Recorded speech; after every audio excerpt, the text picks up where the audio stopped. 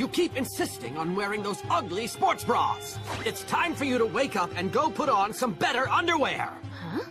Ugly sports bra? What? Ah! Ah! Why would he... What is going on? Pervert! Wait, Neji is supposed to be dead!